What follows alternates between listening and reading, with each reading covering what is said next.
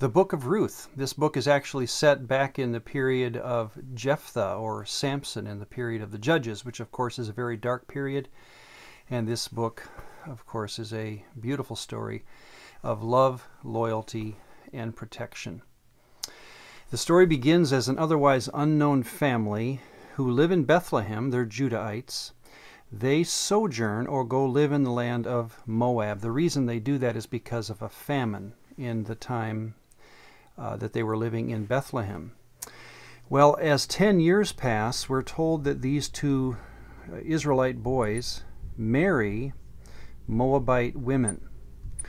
Uh, is that right to do? Well, there's a lot of intermarriage uh, apparently going on at this time, as we've seen, and um, nothing is necessarily wrong in the in the flow of the story as it's being told.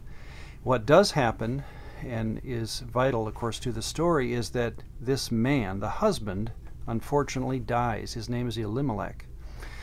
Well, even worse, these two boys, Chilion and Mahlon are their names, they die as well.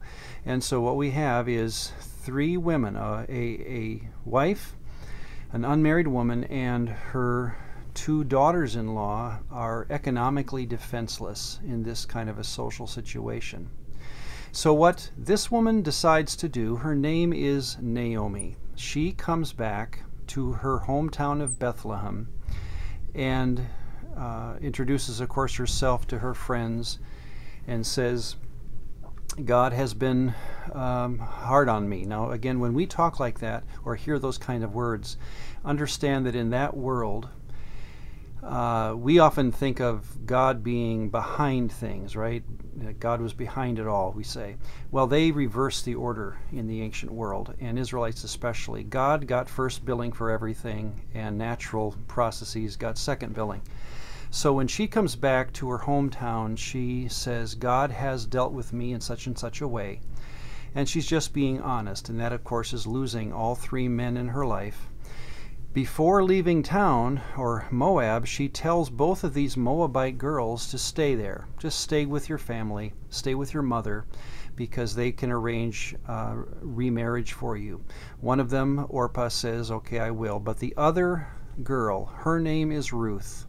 She comes with her mother in law, and that becomes now our story that a, that a unmarried or widowed woman and her daughter in law are now in Bethlehem the way our, our social structure of, is, is set up at this time is that tribes are composed of clans, and clans then are composed of families. The family, of course, of Naomi has been um, decimated. So she's really depending, when she comes back to Bethlehem, on being supported by her clan. And what happens is, and in 2 3 it says, she chanced her chance. Well, again, that, that, that idea is meaning kind of behind the scenes that God is at work.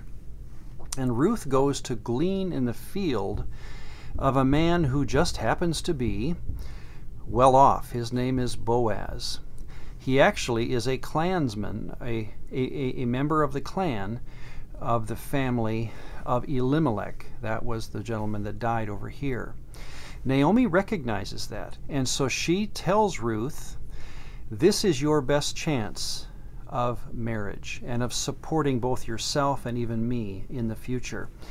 Well, Boaz, this is, and several things are happening at once. Boaz is impressed by Ruth's diligence and generosity and loyalty to her mother in law. Uh, Naomi recognizes a, a, a, possible love story here, so she arranges for Ruth to propose, as it were, the idea of marriage to Boaz on the threshing room village, or the village threshing, threshing room floor one evening. Um, it's it's an above the board kind of idea, and and Boaz realizes that Ruth wants marriage. He's honored by that, and he goes to arrange it. As it were, or as it is, he recognizes, Boaz does, that there is another man in the clan who is closer to the family than he is. So he tells this man, he's never named, you actually have first dibs, first right to marry Ruth and to uh, give her children and, uh, and start her family. The problem, and of course both men realize this as they're describing this, is that, and we shouldn't call it a problem, but just a reality, that the child that potentially, or children that come with Ruth, would not be this man's inheritance. Because remember, she was married to Mahlon, who is the son of uh, Elimelech. This boy's inheritance rights would go through a deceased man, but it would go back to this family and not this man's family. In other words, if you marry Ruth, it's going to cost you a good deal of money. And that's the conversation that Boaz and this man have. The man says, Well, count me out. I can't afford that. And so Boaz and Ruth are married. And of course, the story ends that their child is their child's name is Obed. Obed begets Jesse, who of course is the father of David. So now we are ready for Samuel, our next book. Uh, one other great uh, point of this wonderful story, of course, is that way back in Genesis 12, verse 3, we're told that God told Abraham, You will bless the world. Well, what better picture of an Israelite blessing the world? Someone who had no business, in a sense, in the physical sense of being blessed. God has taken care of this Moabite girl through the marriage of an Israelite man, even giving her the right to be uh, the grandmother of King David.